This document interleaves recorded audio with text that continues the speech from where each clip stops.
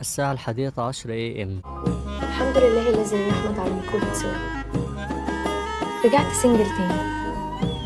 وبواجه ضغوطات المجتمع ونظراته القاسية لكن هعمل إيه؟ اتعودت إني أتصالح مع الوحدة. ثانية واحدة. هي الفاتحة اللي أنا قريتها بره بنية جوازي منه دي محسوبة إيه؟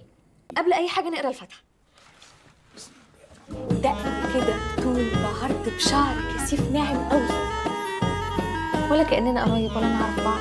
إحنا نعرف بعض؟ أنا أول مرة أشوفك النهاردة. rewind للحظات الحلوة.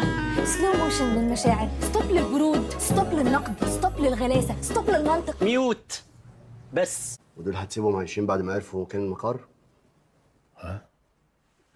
أنت بتفكر. فكرت تقرب منها.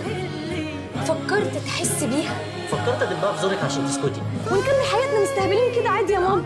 ونبدا حياه جديدة أنا وأنتي وخليل في كندا. ما تبعدش بقى عشان ما اقعدش ادور عليك في رقصة ال couples ما تعملش scene بقى يا عم الله إحنا اصحاب عادي. أيوه إحنا اصحاب عادي ما ده اللي بحاول أفهمهولك. أنا بتكلم عليا أنا وماضي